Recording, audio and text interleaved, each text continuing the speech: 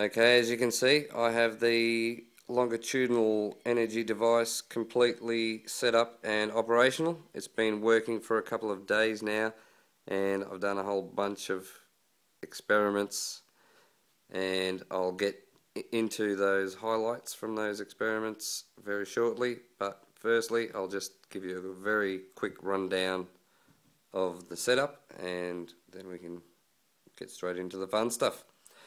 Uh, okay, starting from here, we've got 240 volts AC coming in through this watt meter, so we can ascertain how much power we are drawing to run this circuit. At the moment, we're using about 60, 70 watts of power at the most, at full power. Uh, that power comes straight into this 12 volt, 2.5 amp LED power supply. Uh, the power goes straight into these 12 volt DC input banana plugs here. Um, we've got the on and off switch here and that controls the input power into this PWM. Uh, it's a high frequency PWM at 13 kilohertz and the PWM feeds into an inverter which I have mounted under here and the inverter output goes straight through this EMI filter uh, which then goes through the variac which you can see there and out through these switches for the output. So we've got a on and off switch here and also a pulsed on switch there and the output is a standard 240 volt AC output plug and we've also got these outputs here. Um, at the moment the outputs going straight to this 12,000 volt neon sign transformer um, and then that goes straight out to the spark gap here which I've modified since the last time I showed it to you. You can tell that the frame is a different setup and there's a reason for that but I've also finished this second electrode assembly here. Um, I've been playing around with electrodes and I found that this one gives the best airflow pattern to control the spark better, the discharge between this electrode and this electrode here. Um, I've kept this electrode long for reasons which I won't go into at the moment but you can see that the output of the neon sign transformer is literally just um, clamped on here and I've put a bit of heat shrink on there and a cable tie just to keep it firm. Um, and that's another piece of ceramic bakelite. Just drilled a hole through there and literally sanded this by hand so that it was a nice snug fit. Um, underneath that, I've also mounted in another hole the 200 millimeter long vacuum tube that Carl made for me because it's um, it's a lot harder to illuminate and get get to that threshold for um, illumination of a vacuum than it is to illuminate a neon. So I've mounted that in there as a bit of an amp meter um, so that the brightness of this tube will indicate our power level uh, on the output of this circuit uh, and it works quite well. Now coming out from the spark gap we go straight to the capacitor banks here. I've wired them up with high voltage wire, uh, put a couple of ring terminals on the ends and some heat shrink so I've just tried to minimize exposure to the air. Um, that's one cap bank, the other cap bank over here is connected to this porcelain terminal block. We've got some 40 kV wire here connecting the electrode to the terminal block and the neon sign transformer comes into that side and it's connected top and bottom via this red loop here, another 40 kV cable.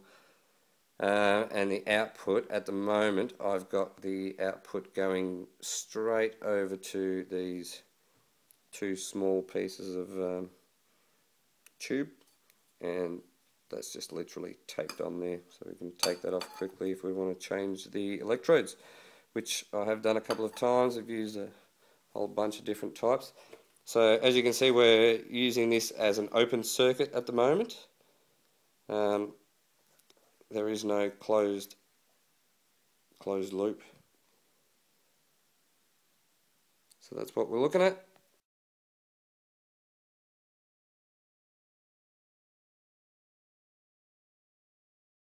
Okay, this is the first trial run.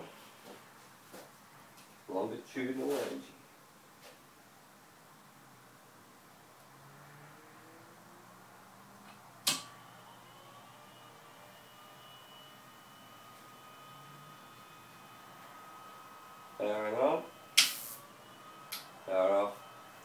Gap too big.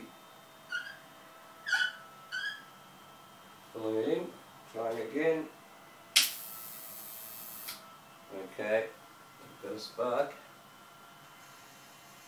Turning the air on.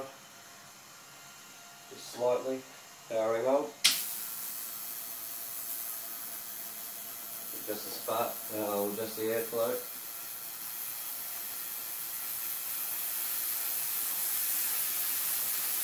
Increasing airflow. We've got three white neons lit wirelessly there. We've got a bit of a neon, a red neon pulsing on just slightly, increasing the air. Air is at near or more air. Right, cut out. Power off. Power back on.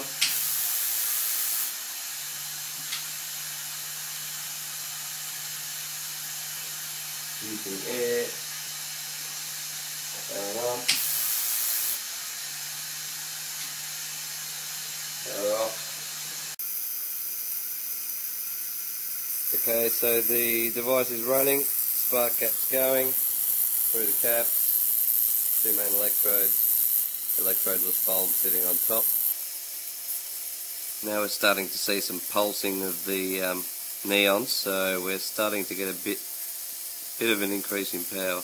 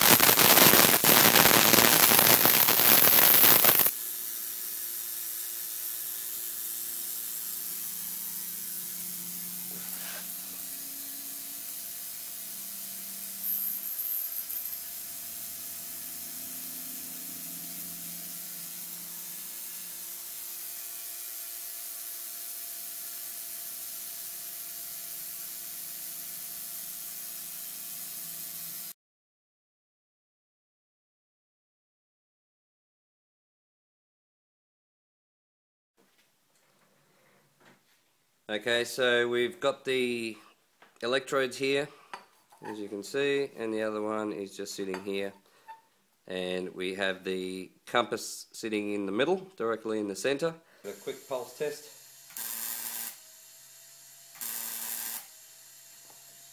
Working fine. We'll turn up the air. Another pulse. More air.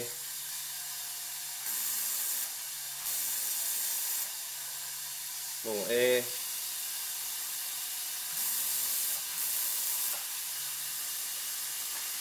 Opening the spark gap. Opening it up a bit more.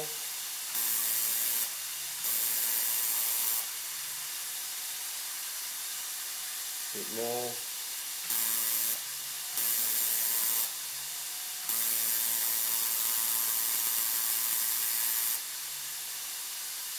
Bit more air again. Okay, this is Dewey. He's got two fluoros, standard, not modified, straight out of the box. Actually, power seems to be quite low. We don't actually have any glowing of the vacuum tube underneath the spark gap, so we'll try and increase the power.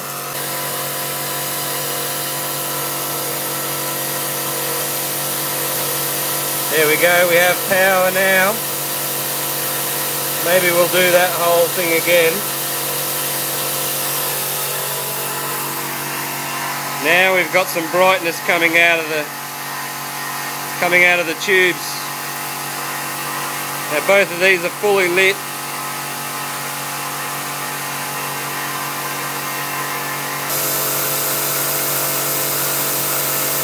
Spark gap running.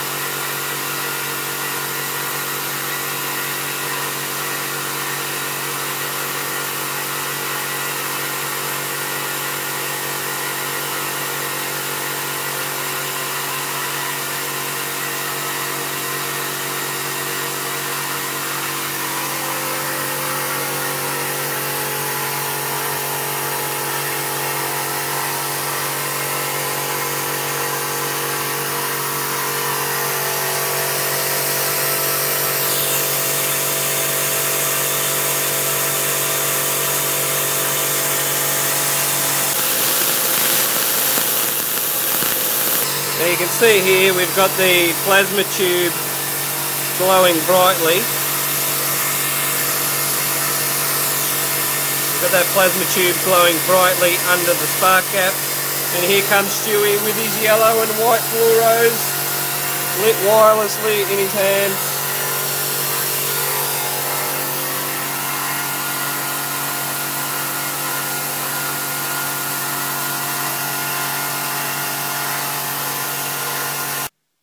Okay, now that I've had a chance to play with this thing for a while, it's time to make some modifications and do a bit of an upgrade. The first thing I want to do is to take these three transistors off here and mount them onto a separate heatsink, which I have lined up ready to go. I also want to do a bit of work on this spark gap assembly. The main thing I want to do is, as you can see, the reason I've changed the setup of this frame is so that I can add another sliding stage next to this one. That way I can mount a block onto that, tie that block into this standoff and the main reason behind doing that is to reduce that slack and that's just caused by about a, a you know 500 micron tolerance in this device um, but at the distance that it is away from the base, there's a you know that half half a millimeter turns into a good four or five millimeters up here.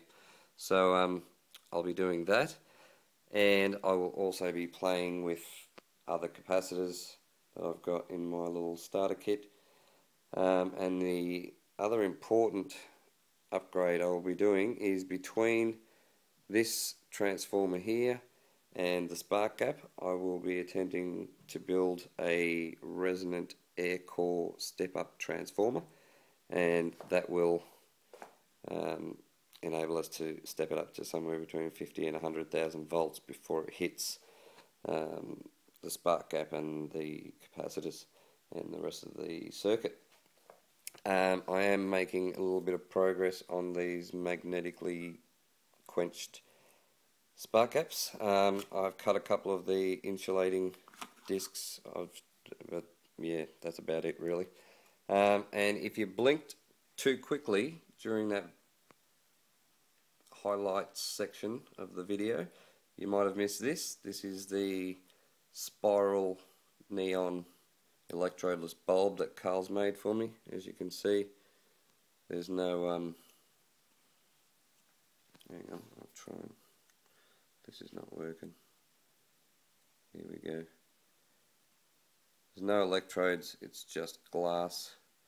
And we've got these plumbing fittings here on the ends just so that I can mount that onto a plate and just have it stand there by itself. Um, so that's pretty cool, so thanks Carl.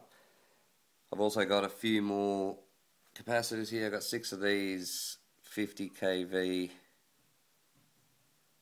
capacitors. Um, I've got six more coming and that'll give me 12 at 50 kV. Um, now, meters. I tried to, I bought a little 0 to 500 volt AC meter and I actually installed that on the output here but as soon as I turned on the device for the first time it blew up and the only thing it reads now is 150 volts so it's pretty useless. It's fried. Um, and I put that down to the longitudinal energy. Um, again the multimeter that I had purchased recently the cheapo one fried that one um, just by measuring the voltage that was going through my body. Um, and I was using that at a distance from the, um, the output of the circuit. So again longitudinal energy not very good for these sort of devices um, you don't want to get good multimeters and stuff too close to the um, the output circuit because it will just fry your electronics. Okay, so that's about all I've got for you thanks for watching. Um, please subscribe and leave comments.